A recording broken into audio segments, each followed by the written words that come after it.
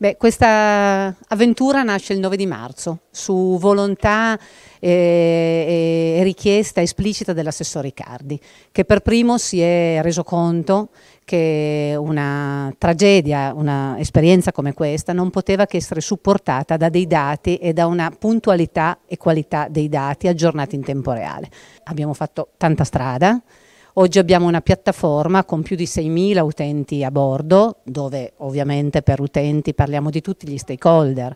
i medici in primis perché sono gli attori principali di questa vicenda, eh, i medici in medicina generale, eh, i servizi di igiene pubblica, le direzioni delle aziende sanitarie, nonché tutti i sindaci, perché eh, a vario titolo tutte queste figure istituzionali necessitano di avere le informazioni il più puntuali possibili nel tempo reale per poter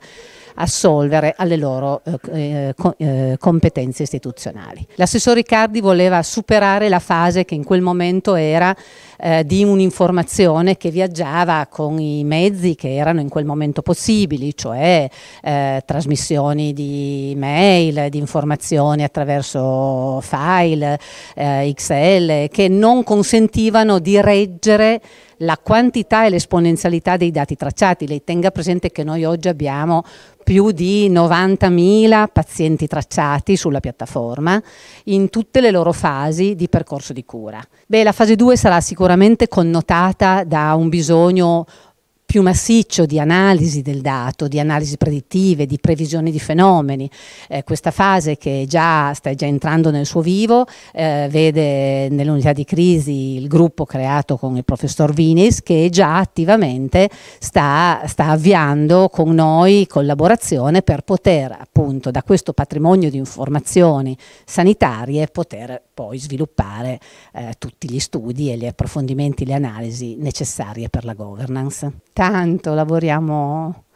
giorno e notte direi, eh, anche perché tutti questi utenti vanno assistiti, è giusto dare una risposta a ogni dubbio, eh, c'è stata una grandissima collaborazione, io questo ci tengo a dirlo perché è stato ehm, è stato e ancora eh, un'esperienza un credo straordinaria per tutti noi. E io mi occupo di sanità da, da, da sempre, di sanità informatica da vent'anni è la prima volta che vedo, vedo, una coesione così forte, cioè aver portato tutti ad utilizzare uno stesso strumento, non in sostituzione degli strumenti che le aziende hanno naturalmente, ma in aggiunta, beh, eh, ehm, e, e, poterlo migliorare, arricchire giorno per giorno, anche grazie ai consigli che arrivano dagli specialisti, dai medici, dalle dirigenze aziendali e da tutti quelli che partecipano a questa